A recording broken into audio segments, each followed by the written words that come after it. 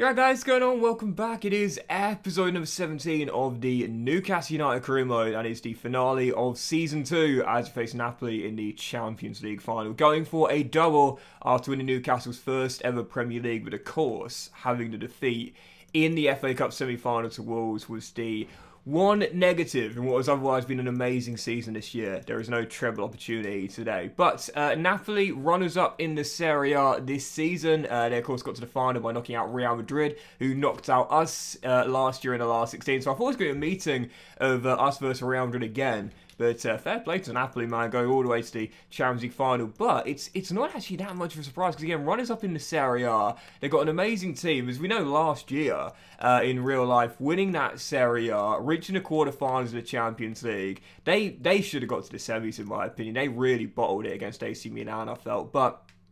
Even so, they've got a great team. Pau Torres, one of my uh, favourite centre halves in this year's FIFA, is in their back line. Uh, they've also got Elmas, the young Macedonian, who grows really, really well uh, in this year's FIFA as well. Kai Havertz is there, moving on from Chelsea, but not to Arsenal, now at the uh, Stadio San Paolo. Uh, Zambo is there, once of Fulham, uh, of course, as we remember. And going forward, they've still got Kvitska Kvaratskhelia, the uh, Georgian winger, who is just. Uh, what a player! Like seriously, what a player! Honestly, he's got such an amazing future ahead of him. And uh, whilst Osimhen has gone to PSG, it is still a really good team. So I would definitely say we're favourites, no doubt about it. And we've become a five-star team ourselves now. And you know, I mentioned before that we are. I wouldn't say we are the very best team in England now, but we are definitely up there. There's no doubt about that. We've we've got what it takes to compete with the big boys in England. Hence why we won the title this year.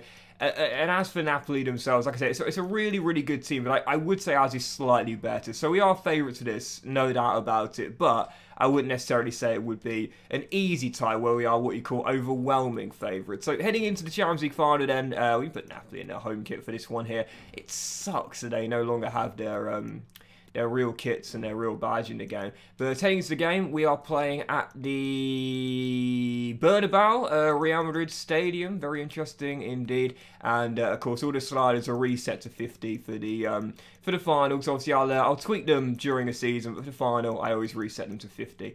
And um, yeah, we don't need to make any changes to our lineup as we are fully fit after resting all of our lads on match day 38 in the in the uh, Premier League finale, as we'd already won the title going into the final day. So this is it, Champions League final, going for Newcastle's first ever major European honour as we take on the Italians, Napoli at the Bernabeu. Come on the Toon.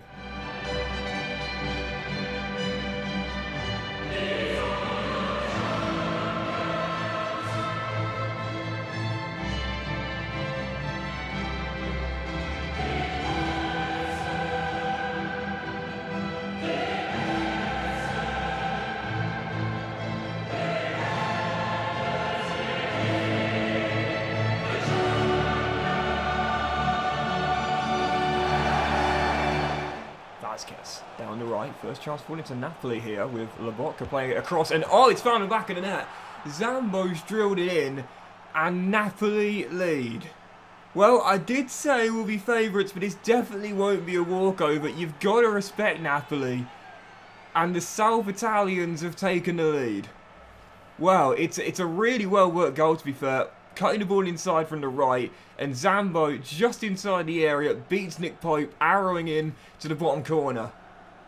Napoli in front, and we trail at the Bernabeu. Okay.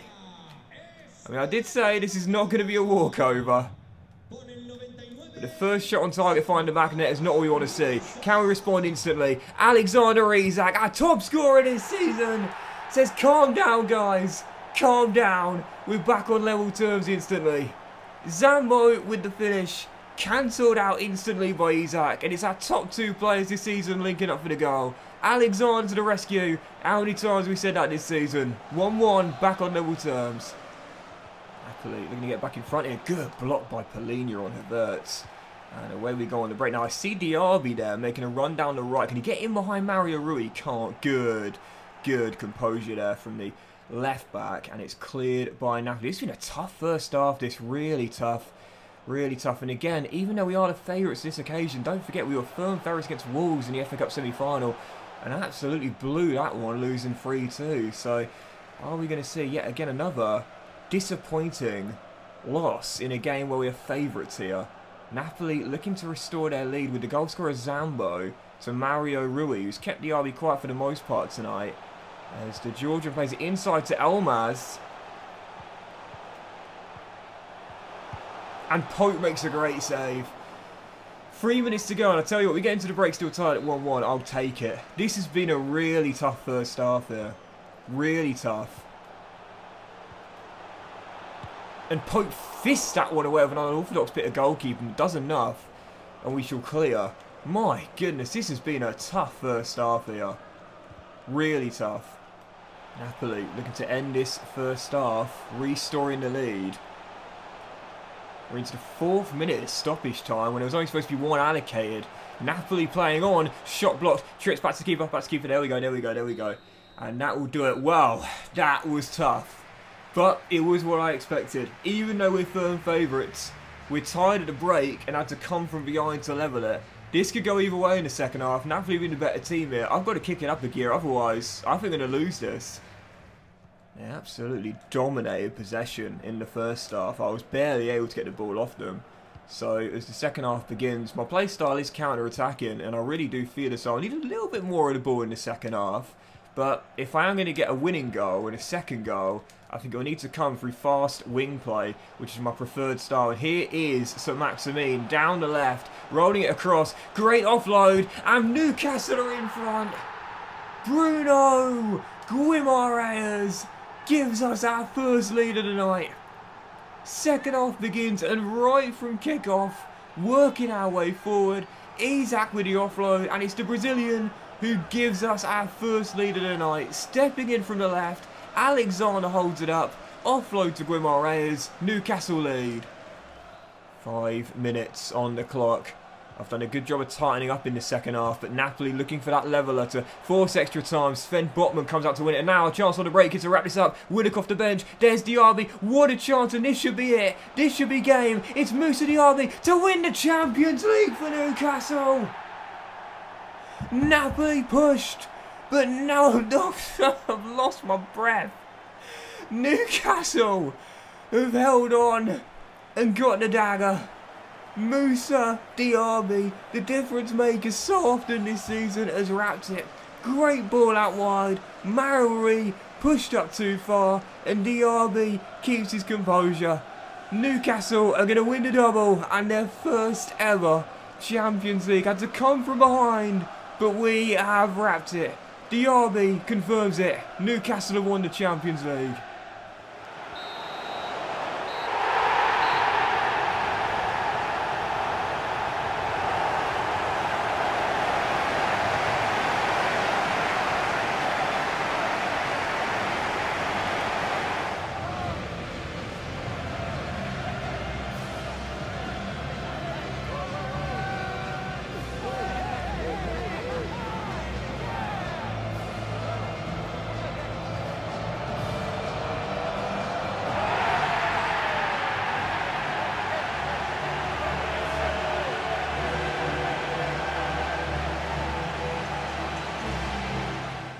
That's kind of how I saw that game going, really. Well, maybe not falling behind early, but really, really tight, very tense. And, you know, I've mentioned so many times before, but those are the games I much prefer than those dominant victories. Had to come from behind to get the win, but we do run out 3-1 victors in the end. Fair play to Napoli though, they, they, they, really made that a tough game, especially in the first half. I felt once we got the foothold in the second and got that lead, then we really tightened up. But to begin with, they were a much better team and, and really put me under a lot of pressure after taking the lead especially as well. But man of the match, no doubt about it, Alexander Isak uh, with the goal and also setting up the Guimaraes goal to give us the lead. To be fair to Diaby as well, I mean, I mean not, not really surprised. They both got a goal and assist each in the final. They've been my top two players all season long, Isak and Diaby, so I guess they can share the champagne. Guimaraes was great through the middle of the park as well. But yeah, Diaby and Isak, my top two this season, once again, coming up big when it matters most. So there it is, Newcastle United first ever Champions League and a great way to end the season and the save as well. I, I, I have to be honest, man. It's so funny, but you know, I said this year, obviously, I, I, you know, my main aim was win the Premier League. You know, win the Premier League this season and try and retain that FA Cup. Yeah, sure, go as far as you can in the Champions League, but even so, I.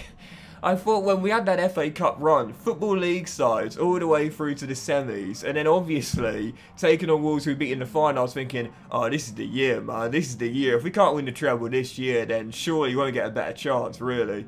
And in the end, Wolves were the team that we uh, we got knocked out by getting a revenge after our win against them last year in the final. But even so, Champions League in the bag, Premier League in the bag, and whilst we may not win a treble, since we did win the FA Cup last year as well, we've won all three of those major, major, major honours in these two seasons. So that'll do it for me, Eddie and the boys as well. I'm more than happy ending the save there after just a two years, but great ending, I feel. You know, winning that Champions League, and uh, I love how the day afterwards they're uh, annoying about annoyed about the fact that we haven't invested in our youth development this year.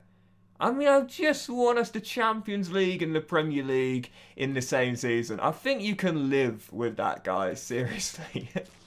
but uh, yeah, we'll uh, we'll end it there then uh, on the back of the big eye, winning the Champions League and we'll do one final uh, look at the squad uh, for this season and what we'll leave Newcastle with. Really, like I said before the game, like we, we're a five-star team now, so I don't really know how we could improve next year. You could probably say long-term success for Trips at right back, possibly a better left back to replace Kieran Tierney and have him jump to the bench. Maybe a long-term successor for Joelinton as well. But really, this is this is such an amazing team. We, would keep on getting better, no doubt about it. But from next year onwards, I definitely say with the right investment in the summer, you know, we just won the Premier League, we've just won the Champions League. We would then be considered favourites, probably for all the major ones we'd be going for year after year. Say we've got like a world class left back, like a Theo Hernandez, for example, and maybe a success for Trips as well at right back. I don't see how anyone could stop us. So, with that being the case, I think we are basically done. So, yeah, fantastic season, and we end our Newcastle United career mode on the back of a major, major high